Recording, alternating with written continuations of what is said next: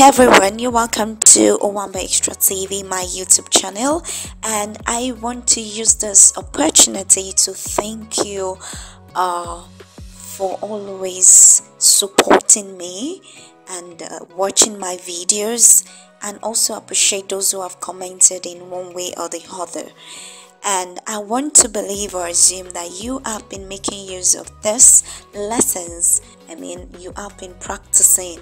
I want to assume you have been practicing those words in the way you talk and in your communication with others.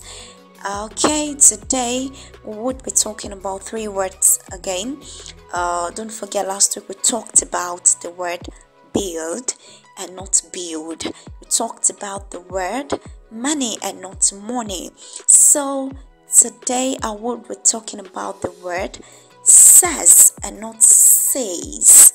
You know, when you have the word say, you have the present tense form, the present continuous tense rather. You have says.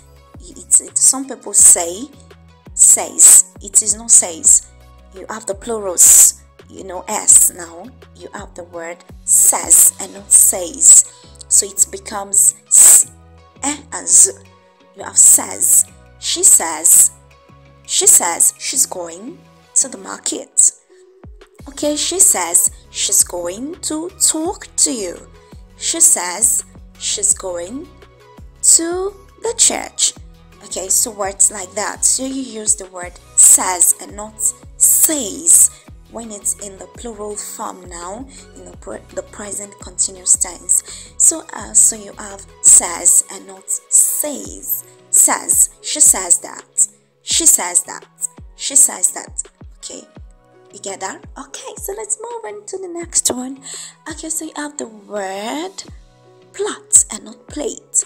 I am going to plait my hair and not plait my hair. Now, it's not plait, it's a splat.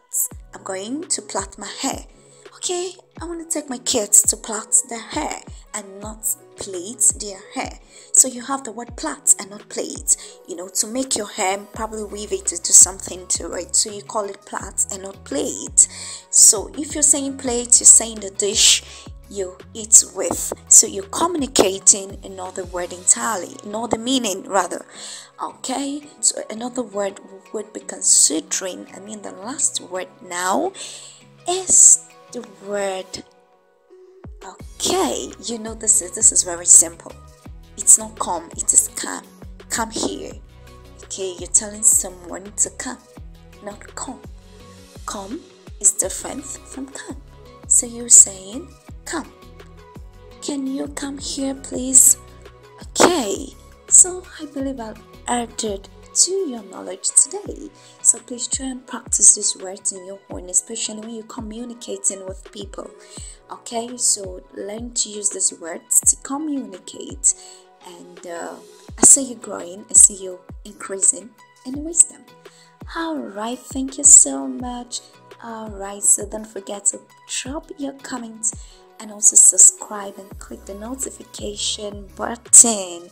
I believe I've added to your knowledge today. Okay, so we would meet next time. Bye. I remain Oluwaseun. Alright, take care. Bye.